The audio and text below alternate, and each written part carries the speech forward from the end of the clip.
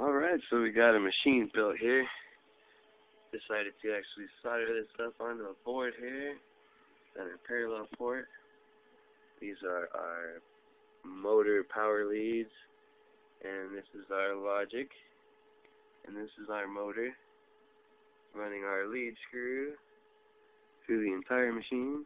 This is our amp. This is our amperage. You can't really see much because it only goes to a certain level, but still using the same power supplies, same switch, same program,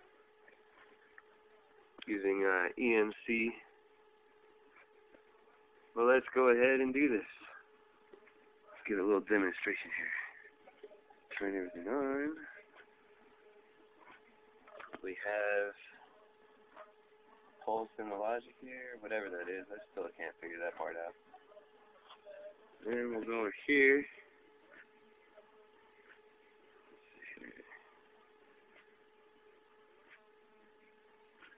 Go ahead and start it up here.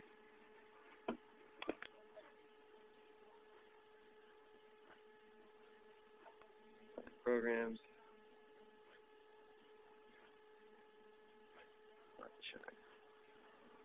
Anyways.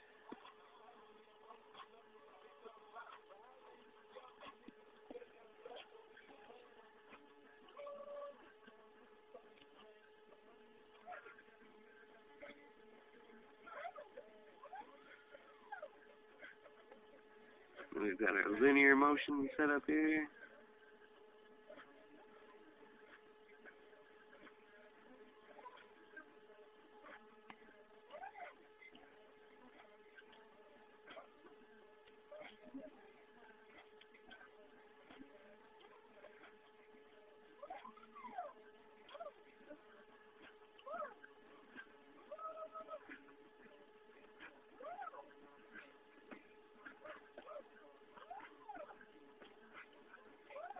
Not the quickest thing in the world, but hey, I'm sure it'll make some pretty detailed stuff here.